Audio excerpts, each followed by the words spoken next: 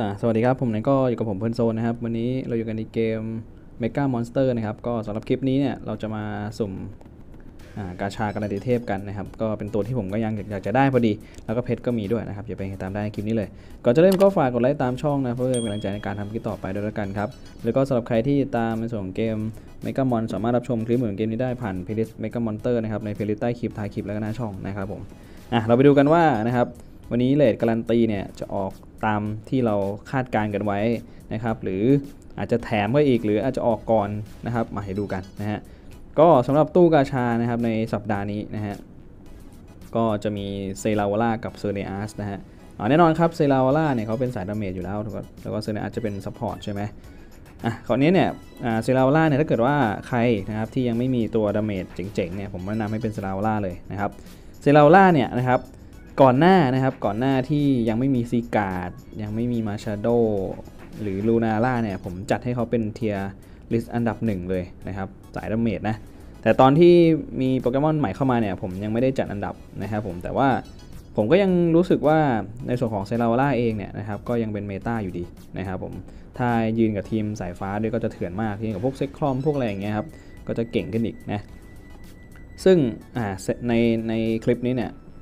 ผมจะยังไม่เลือก Zeraora แล้วกันนะครับผมจะเลือก Xerneas นะครับเพราะ Xerneas ผมยังไม่มีนะครับผมจะเลือกตัวที่ยังไม่มีแล้วก็ Xerneas เนี่ยเป็น tier S ด้วยนะครับผมก็เป็น top tier เหมือนกันนะครับก็จะมีพวก top tier สาย sup เนี่ยจะมีพวก Jirachi Xerneas แล้วก็พวก Celebi ซึ่งผมยังไม่มี Jirachi แต่ว่าผมมี Celebiเพราะฉะนั้นผมจะเอา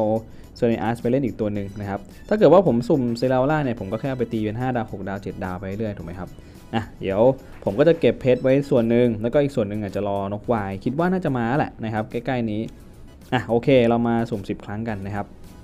อะมาดูกันว่าจะออกรอบที่เท่าไหร่นะปกติจะออกรอบที่ 8 นะฮะจัดมาเลยครับ 10 ครั้งรอบที่ 1 รอบที่ 1 คือ e w a r k นะครับผมนี่ได้มาแล้วครับ e w a r k นะฮะได้กล่องมา 1 กล่องนะครับผมโอเคอะ ต่อมานะครับรอบที่2นะฮะหวังว่าโปเกมอนจะไม่เต็มครั้งนะฮะจริงผมก็ไล่ตีบวกดาไปหลายตัวแล้วอ๋อไอตัวเทียนครับ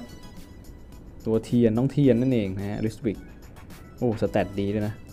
ธาตุผีนะครับเฮ้ยได้กล่องมา3เลยนะเอ้ยโอเคอยู่กล่อง 3 แล้วก็ Legendary 1นะฮะอะต่อเลยครับต่อเนื่องนะครับต่อไปรอบที่ 3 นะครับ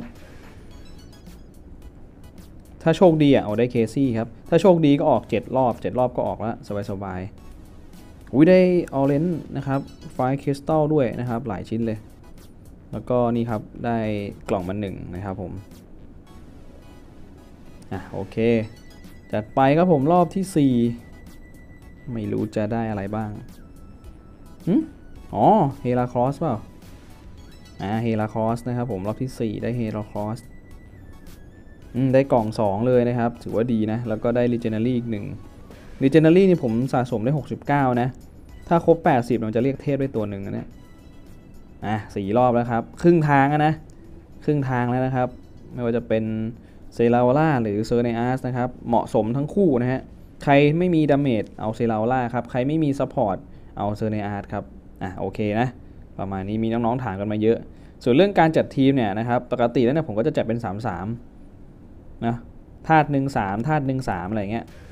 ผมจะไม่เล่นแบบว่าธาตุเดียวกัน 6 ตัวนะฮะจะแบบจัดเป็น 3-3 แล้วกันนะคิดว่ามันน่าจะเป็น balance ที่สุดละลองเช็คนะครับในพวกอ่าอันดับ 1 ดูก็ได้ครับ เราไปดูพวก PVP อะนี่ผมขอดูนะ ผมก็ไม่ได้เช็คเหมือนกันนะว่า top serv ผมแม่งใช้ตัวอะไรบ้างเนี่ยดูดิ top serv ผมเขามี Zygarde มี Solgaleo มีนก Y ปะเขาจะมี sup 2ตัว ผี2ไม่ใช่ผี2ดิโหเป็นทีมผสมนี่เราขอดูอันดับ2ดินี่ยอันดับ2เล่นเป็นแบบนี้นะครับนะส่วนใหญ่ก็จะเล่นเป็นทีมผสมกันนะฮะอู้พลังหนึ่งล้านแต่ว่าแน่นอนครับเห็นสังเกตไหมครับจะมี Zygarde นก Y Celebi Zygarde นก Y Celebi เห็นไหมครับมี Zygarde Zygarde มีแน่ๆนก Y นะครับมี Xerneas ด้วยเห็นไหมอันนี้ประกอบการตัดสินใจแล้วกันนะครับใครไม่มี Celebi ก็เอา Xerneas อะไรอย่างเงี้ยนะครับผม อะโอเคต่อ รอบที่ 5 ครับ เราไม่จำเป็นต้องแบบท่าเดียวกัน 6-7 ตัว ผมรู้ว่ามันเวอร์เกินนะฮะ เราเล่นทีมกึ่งผสม ผมว่าน่าจะดีนะครับ อ่าห้ารอบแล้วครับอ่าได้กล่องมา 1 ครับ แล้วก็ดีเจเนอรี่อีกหนึ่งนะครับอะโอเค 5 รอบผ่านไปแล้วนะครับผม จัดมานะครับ น้องๆถามมาว่า พี่ไม่สุ่มเหรออะไรอันนี้รอบที่6นะ บอกพี่ไม่สุ่มเหรอเทพอะที่มาผมบอกอย่าสุ่มครับแต่ผมจะสุ่มมาสุดท้ายอ่าวุ้ยได้กล่องมา 2 เลยนะครับอะเมื่อกี้เอ้เมื่อกี้หกรอบใช่ไหมผมไม่ได้นับ 6 รอบเลยเนาะต่อไปรอบที่7นะฮะคือถ้ารอบเนี้ยถ้าใครดวงดีๆหน่อยก็ได้เลยนะอืมถ้าใครดวงดีๆหน่อยเอ้ยผมกดผิดไอ้บ้าเอ้ยเสียเพชรฟรีอะอ้าวพื้นที่เต็มเหรอเดี๋ยวขอเคลียร์พื้นที่ก่อน อะมาลองดูว่ารอบที่7เนาะเมื่อกี้กดผิดเว้ยหลอนเลยปะเนี่ย เพี้ยนแน่ ๆ เลยโอ้ได้ไดโนมานะครับ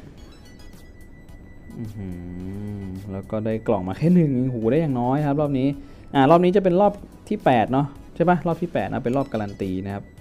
ก็น่าจะได้กันรอบนี้แหละ นี่มาละเซอร์ในอาร์ตนะครับ ถ้าเป็นอย่างเงี้ยอะโอเค ก็อย่างที่ผมบอกต้นคลิปไปนะครับ ผมก็จะเลือกเป็น Xerneas ละกัน เพราะว่าผมอยากมี Xerneas ในทีมนะครับ จัดไปนะฮะ Xerneas นี่เรียบร้อยครับได้มาแล้วนะฮะสุดยอดตัวซัพพอร์ตระดับ TS เลยนะ โอ้ได้ตัวสล็อตมานะครับผม กล่องหนึ่งนะครับผมอะโอเค เราไปดูนิสัยกันหน่อยหนึ่งผมก็จะเก็บเพชรไว้ 27,000นะครับ เดี๋ยวจะเอาไว้สุ่มในส่วนของนก Y นะฮะ อีกทีหนึ่งนะครับ นี่คือแปลว่าในคลังของผมนะครับ ก็มีตัวละครที่ติด meta นะ ติด meta เยอะเลยล่ะ Zygarde ก็ติดใน Zygarde ไม่ติด Marshadow ติดนะครับ Melmetal ติด Lunala ติด Zeraora Celebi ติดแถมยังได้มาใหม่ Hoopa ก็ติดนะฮะ นี่ตัวนี้ตัวใหม่ครับ เดี๋ยวขอดูนิสัยหน่อยอืมนิสัยไม่ค่อยดีเท่าไหร่แต่ไม่เป็นไรนะครับใช้ไปก่อนนะฮะถือว่าโอเคเลยทีเดียวนะครับผม นี่อัพก่อนเลยอัพก่อนเลยครับ ตัวใหม่ใช้งานได้เลยนะ ถ้าพูดถึงนี่เนี่ย เดี๋ยวจะปั้นขึ้นไปใช้งานเลยแล้วกัน อาจจะต้องมีการเสียสละย่อยใครบางตัวนะครับ เพื่อที่จะให้เขาขึ้นไปบูได้นั่นเองนะครับผมตรงนี้อะโอเคนะครับผมก็ประมาณนี้ก่อนละกันนะฮะสำหรับคลิปในวันนี้ครับ ก็ถ้าชื่นชอบคลิปนี้นะครับ ก็ฝากกดไลค์นะครับผมกดแชร์ กด subscribe ช่องบันโซนนะครับ เพื่อเป็นกำลังใจให้กันด้วยนะครับ แล้วก็กระดิ่งไปแจ้งเตือนคลิปใหม่ๆพวกใหม่คลิปหน้านะครับผม see you again สวัสดีครับ